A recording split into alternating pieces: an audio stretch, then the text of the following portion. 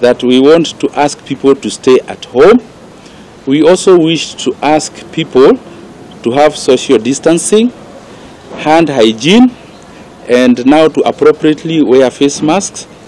Uh, The county government has, is fully prepared to do health promotion, prevention services, and to offer clinical services to all the clients who end up in our facilities in the public hospitals. And we have managed to get all the equipment that we require for now. We don't have enough of all everything that we require, but we are acquiring them as we go along and on need by need cases. Um, we now have two cases in Nakuru, one for a 28-year-old lady and a 39-year-old gentleman who confirmed positive yesterday. Uh, both were on quarantine. Uh, they were in isolation in their specific homes.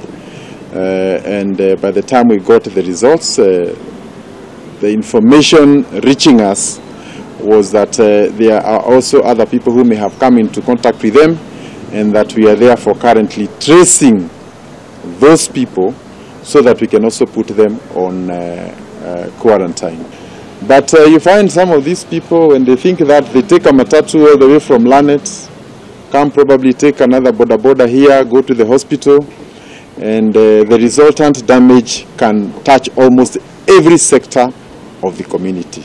So once again, for persons who may have um, come into contact and they think or suspect they have come into contact, uh, getting to see your parents, your family, your neighbors, your friends, and so on becomes a very, very big damage to the society. So we are calling upon all those who are on quarantine and isolation to respect the terms of the isolation so that you're not in isolation and in the evening you want to go and see your friends, you want to meet your relatives, you want to meet your family because eventually in some of the cases you find one person has a web of over 100 other contacts. But there are clear cases of violation of the quarantine terms.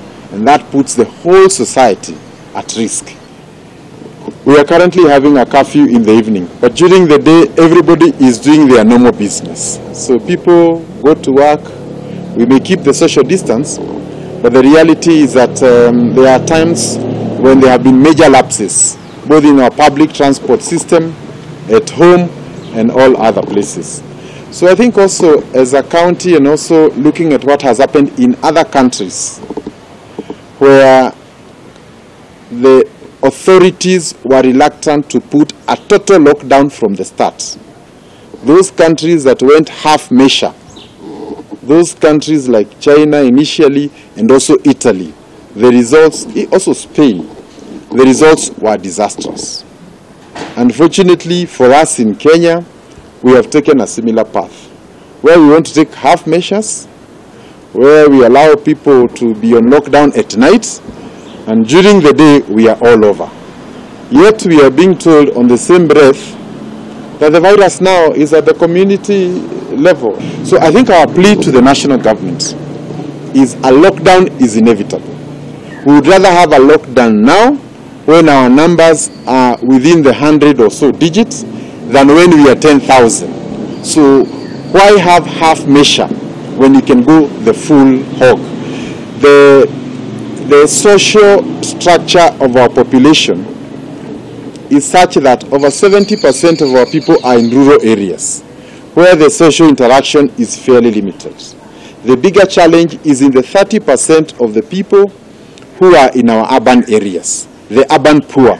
And I think if we can work together with the national government, with the private sector, we can address issues of food and access to those communities so that we can deal with the issue of food access to those people, the urban poor, and therefore ensure that this thing does not go.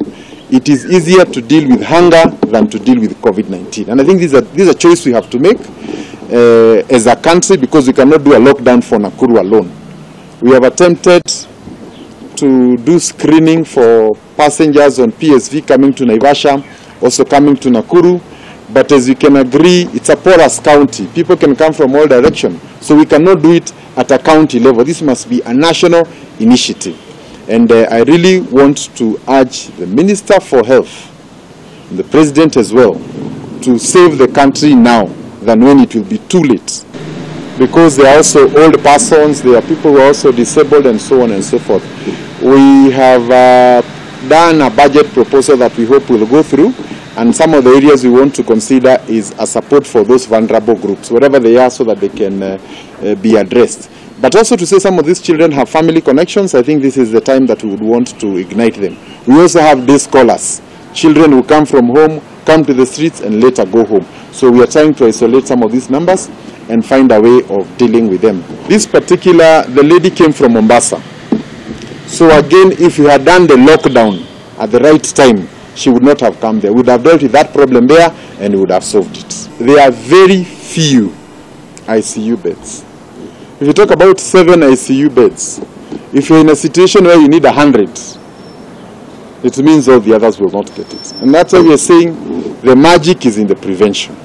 The ventilators, we have about 12, 19. We also have private sector, but whatever number we get is a drop in the ocean. It's not even 5% of what we may require.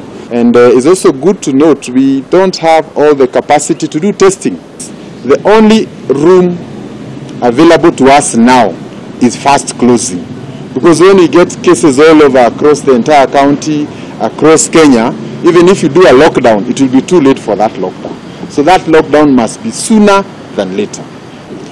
We would really want to encourage that uh, if you are in a family where you have old persons, it's also good to ensure that they remain under some sort of uh, isolation of sorts, even if they are not sick. This lady who came from Mombasa, one of the things we are trying to investigate is that she came by public means from Mombasa to here Nakuru by bus. Bus has maybe 70 passengers.